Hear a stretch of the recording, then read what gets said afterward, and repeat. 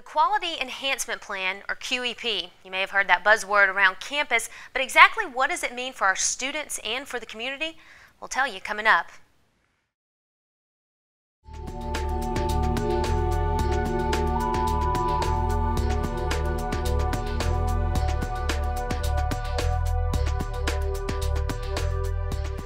This edition of GC Conversations, where our guest today is Dr. Stephen Jones Hi. with the Center for Engaged Learning, Teaching, and Scholarship. Right. Welcome. You got it all. we got it, got it all in there. Uh, so, Dr. Jones, tell us a little bit about you. You're actually a new face here to campus, mm -hmm. right? Relatively new. Yeah. About a little over a year. About now. a year. Okay, talk to us a little bit about um, kind of what brought you to Georgia College and what you do here on campus. Okay. Well, um, I started my career, oh, I won't say when, but I started my career uh, as a college professor and uh, did a lot of work around community outreach and community engagement. And since then, I've done a lot of work in, in that area. And uh, when I saw the, uh, the position announcement for what was then director of the Center for Engaged Learning, I thought, well, that's pretty interesting because that combines a lot of the things that I've been doing. So service learning, uh, student leadership programs, American Democracy Project. Those are all things that I've worked with and on at other campuses. So uh, it seemed like a good fit for me. Uh, so I came here last year. Uh, over the summer, uh, the provost uh, officially kind of created the Center for Engaged Learning, Learning Teaching, and Scholarship. See, I have a hard time getting it out myself which combines the Center for Engaged Learning and the Center for Excellence in Teaching and Learning. So the Center for Engaged Learning programs have been combined with a lot of the faculty development programs. And so that's what the center is now.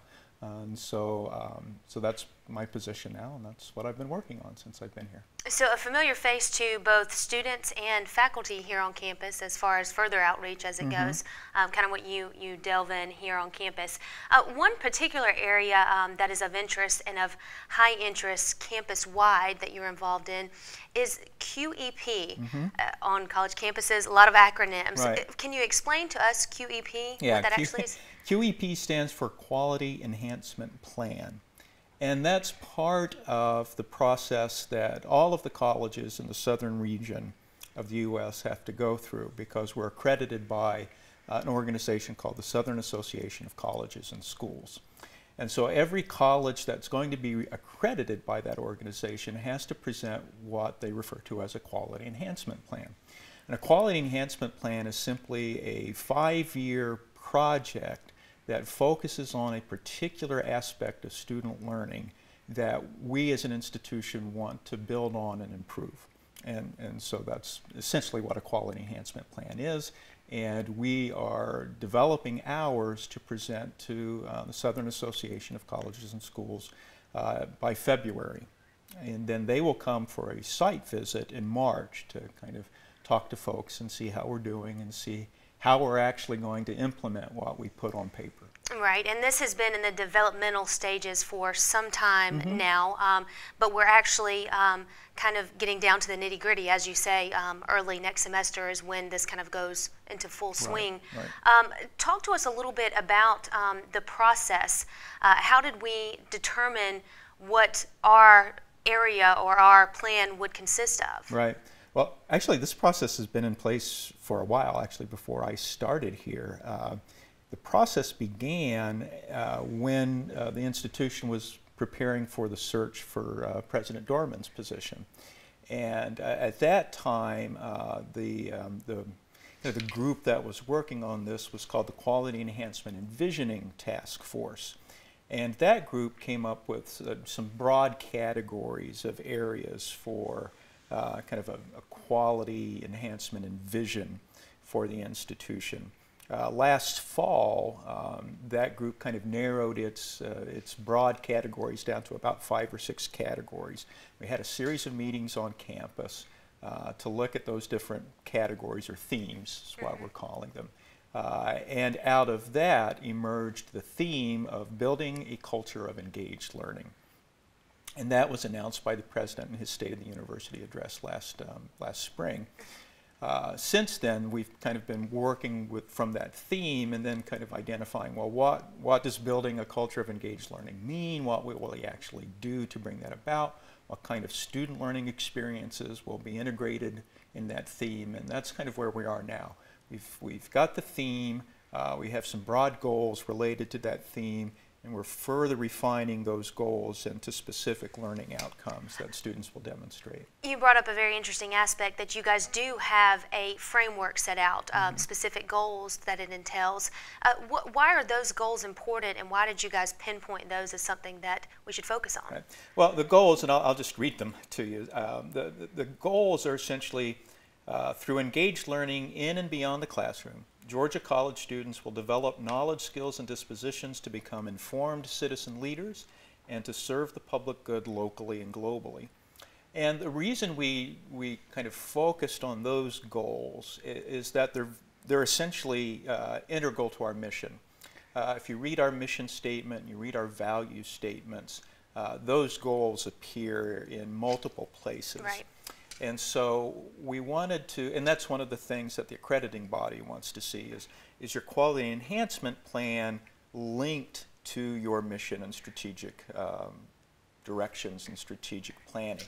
And, and, so these are very specifically linked to our mission, our values, and our strategic priorities as an institution.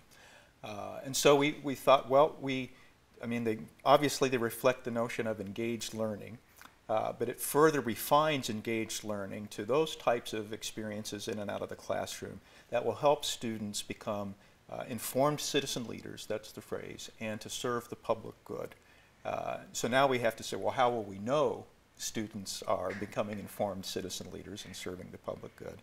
And that's where we are now. We're kind of further refining those goals to very demonstrable uh, types of outcomes and experiences that students will have. Okay, and one other is, did we cover both of our goals that were there, that yeah, breakdown? Okay. Develop, yeah, develop knowledge, skills, and dispositions, become informed citizen leaders, and serve the public good locally and globally. Okay, very good, and something very important for us to focus on. Now, this task force, this group of people that have been brought together, are um, not just representatives from here on campus. We have actually, to reach those goals, mm-hmm. reached out into the community, correct? Exactly, yeah. And we've done that in several ways. Uh, one, we, we have a task force member, uh, Janet Cabin, who, who is uh, uh the director of a, of a very important uh, community organization locally. Uh, but we've also done a lot of uh, forums in the community where we have uh, just reached out to the community, uh, tried to get input from the community. We've done that in terms of um, the Diversity Action Planning Task Force.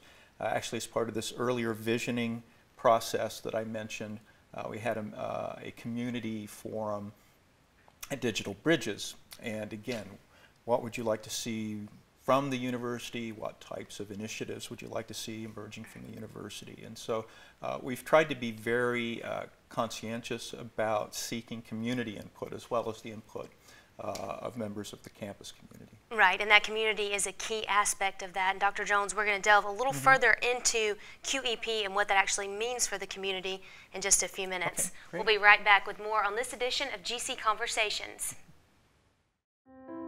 Quiet, please. Wait a sec. I'll take one. Oh, yeah. All right.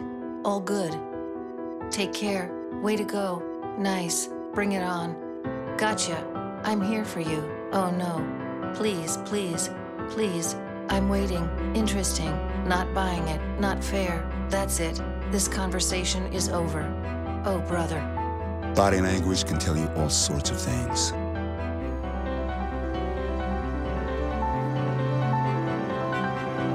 I'm having a stroke.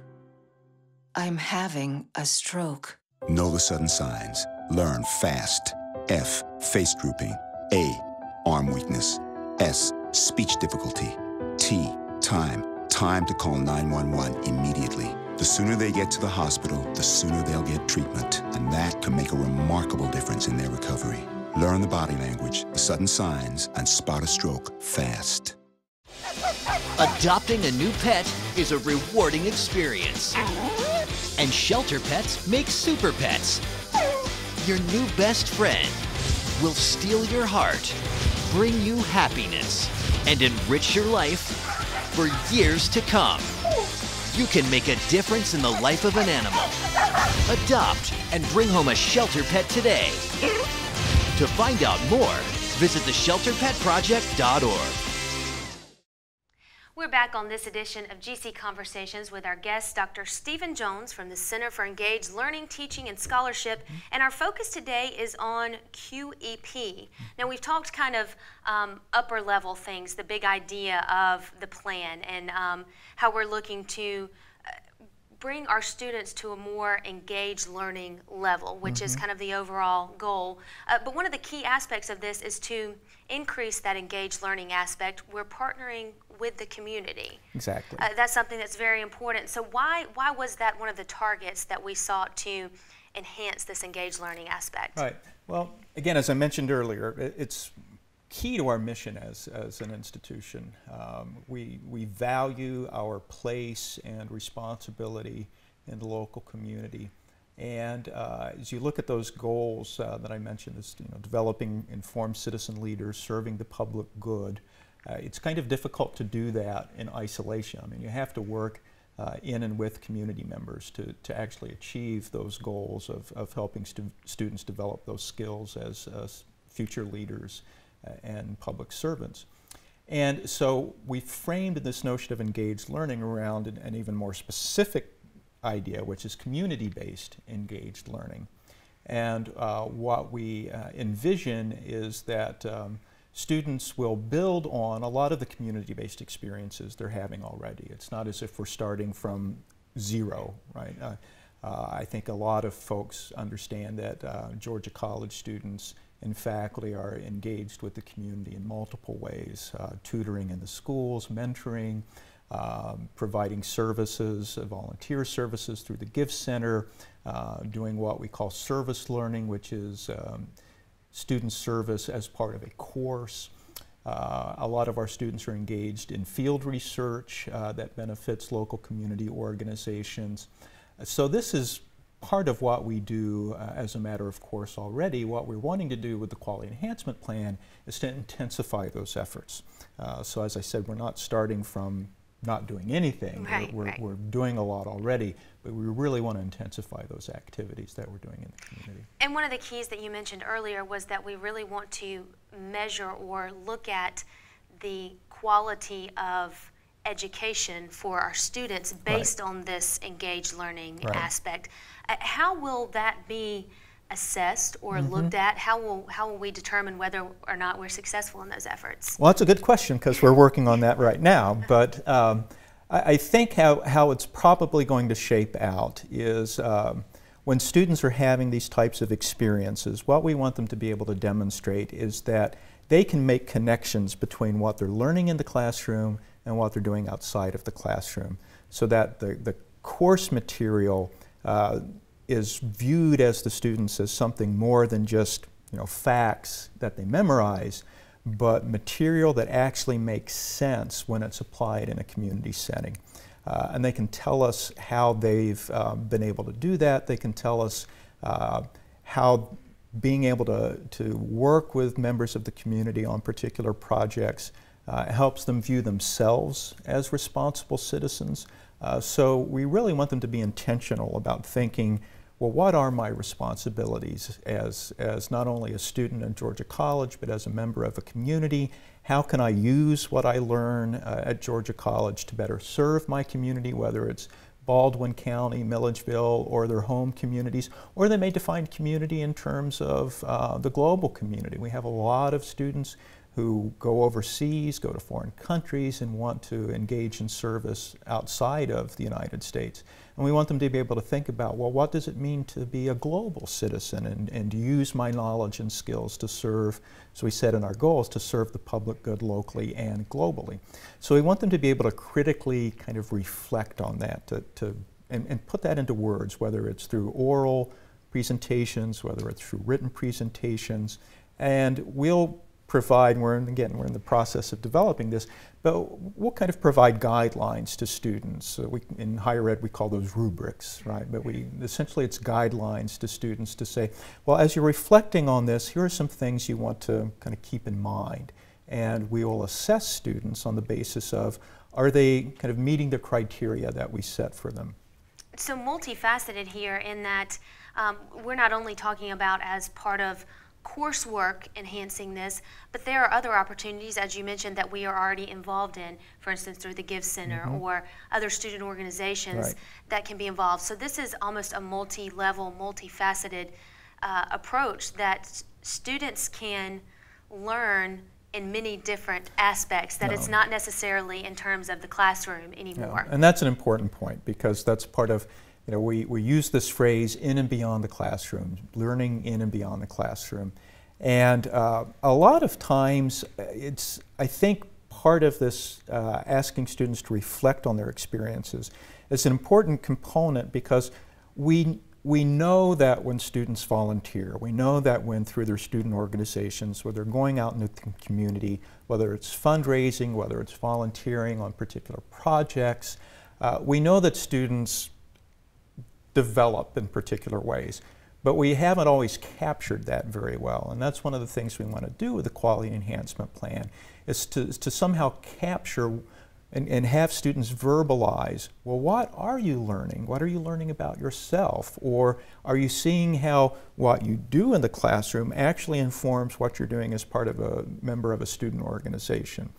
And we want them to be able to articulate that for us. And, and that's part of what we're trying to do with the Quality Enhancement Plan as well. Which I can imagine will actually allow us to tailor the educational process for our specific students depending on that feedback right. to find this is working or this aspect, this department, this area does a really good job of relating classroom to real world, should we say, experience, yeah. and others, how can we make you relate better? Right, and that's a great point too, because part of what we want to do with the quality enhancement plan, and one of the reasons assessment is so important, is that when we when we learn from students what they're learning, then as you said, then we can take that information and put it back into the design of the learning experiences. And so uh, when students tell us, "Wow, it would have been great if I had been able to do this, or it would have been great if I had known this ahead of time. Right? We always have those, gee, I wish I knew now what I didn't know, you know, or I wish I knew then what I know now, right? Well, when students reflect, they can tell us that, and then we can take that information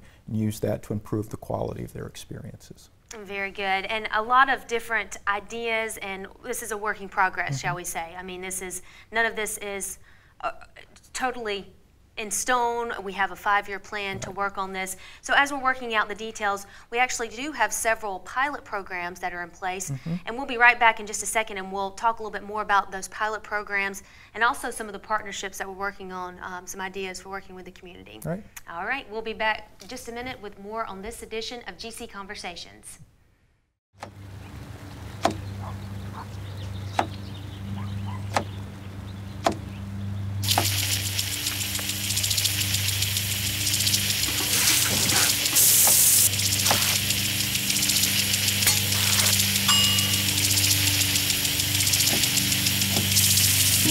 Kitchen surfaces, utensils, and hands with soapy water. One in six Americans will get sick from food poisoning this year. Keep your family safer. Check your steps at foodsafety.gov. You sure you don't want some? It's chamomile. Listen, you are extremely terrifying. Just the scariest undead subhuman thing on TV, and I really mean that.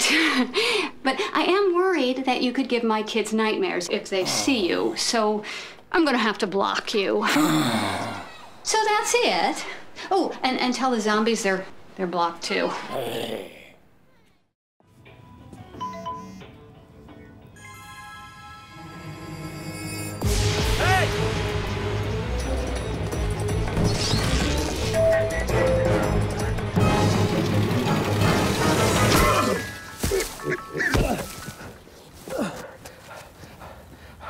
So, same time next week?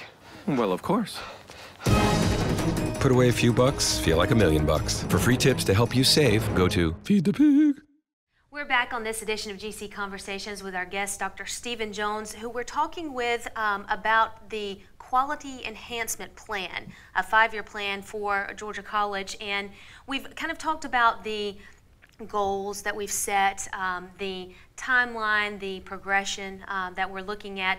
But actually, at this point in the planning process of the plan. Uh, we have several pilot programs that are in place, one going on this semester particularly, right? Right.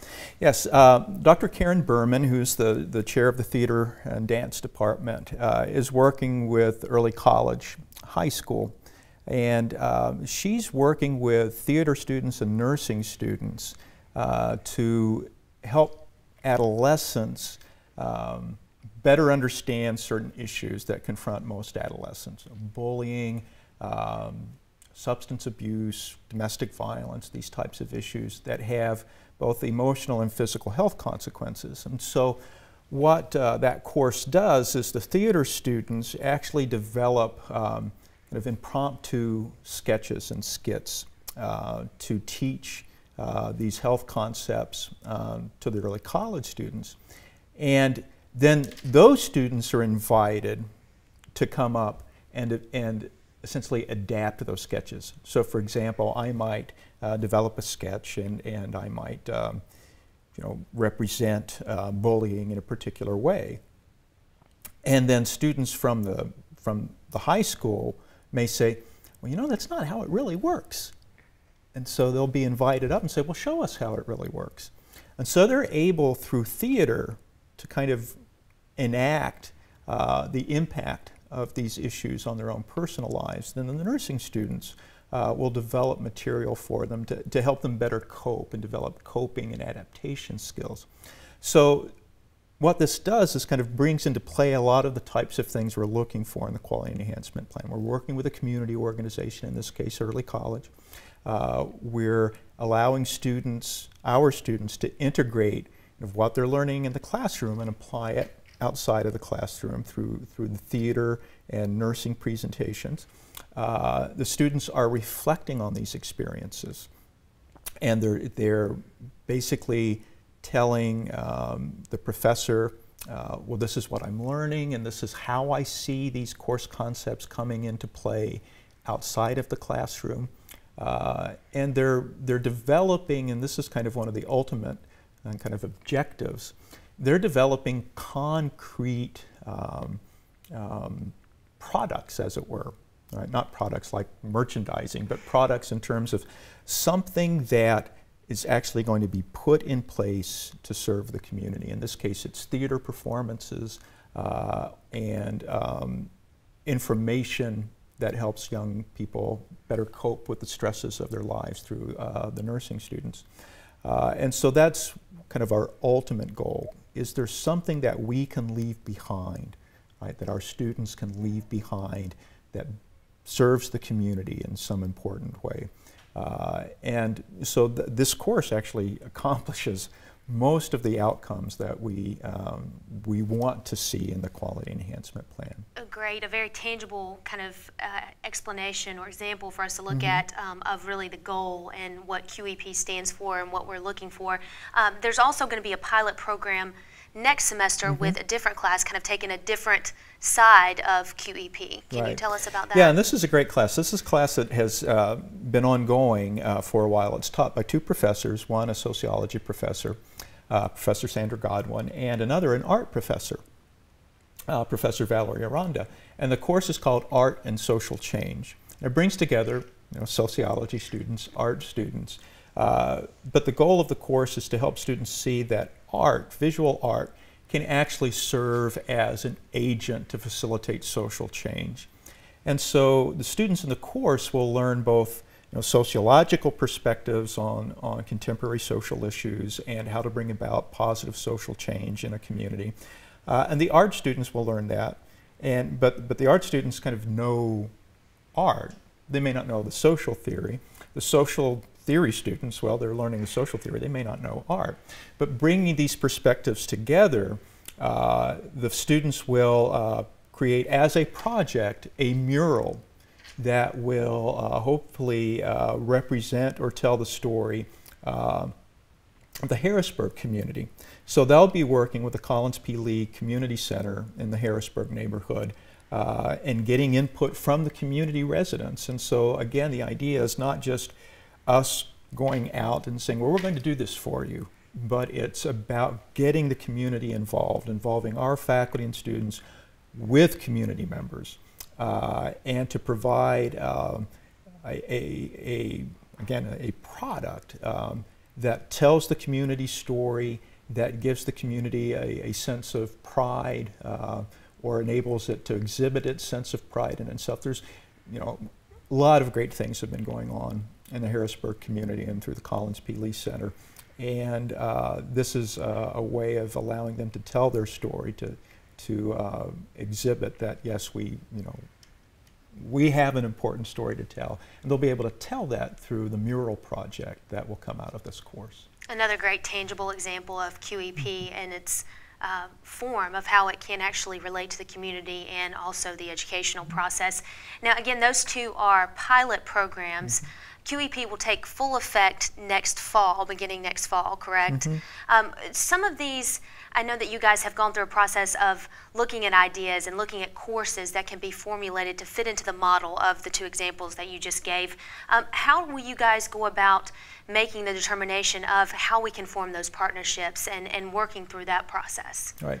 Well, as I mentioned earlier, we have a pretty strong base already of, of uh, faculty have worked in the community. We have a pretty strong network of community partners. And I think uh, uh, initially a lot of what's going to happen is we're, uh, we're going to pair experienced, you know, experienced faculty, community organizations that already have a strong relationship with us, uh, and, and kind of, you know, almost serve a matchmaking role. So those faculty and community organizations that have already established strong uh, partnerships uh, will continue to be involved in the quality enhancement plan. But as other faculty and academic programs and, student organizations, et cetera, as they see an opportunity to become more involved, uh, then we envision the, the quality enhancement plan as providing a vehicle where kind of the you know, novices, as it were, uh, will know who they could contact in the community. And uh, we can build on those relationships. So, for example, we have plenty of things happening with Baldwin County schools. You know, we have the YES program, we have High Achievers program, we have Communities in Schools is based here on our campus. So we're doing a lot of great work in, the, in the, our schools already. Uh, but there may be courses that have not necessarily thought about, well, maybe I could partner with local schools, right? Well, this gives them an opportunity then to think about, well, how would I partner with local schools? Uh, would I partner through tutoring? Would I partner through maybe integrating a mentoring program as part of my course? And that's what we want to be able to do is to kind of create those, um, those pairings. Uh, community organizations likewise, who may not have thought of the university as a partner, we want to invite them into the process as well. So if community organization, you know, as they become more aware of what we're trying to do in the community, well, then we want to provide them with access. So we want to be able to say, well, you have an idea, a project, maybe we can find a, a, student organization, the Give Center, a faculty member who can work with you on that kind of project. Right, and very quickly, if you could tell folks where they could go to get some more information or to be in contact with some of the folks involved in this. Right, I think the best source of information at this point would be either myself, uh, and it's easy to contact me at Stephen with a V dot Jones at gcsu.edu, uh, or the co-coordinator of the Quality Enhancement Planning Task Force, and that's Julia Metzker, Julia dot Metzker, M-E-T-Z K-E-R, at gcsu.edu. And contact either one of us by email and we'll get the information you want. Fantastic. Dr. Jones, thanks so much for coming in and explaining this process to us and giving us a little more information and something to look forward to. I think this is a very exciting time, not only here on campus, but also in our community. It is. All Great. right. Thanks, Brittany. Thanks so much. And that's it for this edition of GC Conversations. You can join us again next time.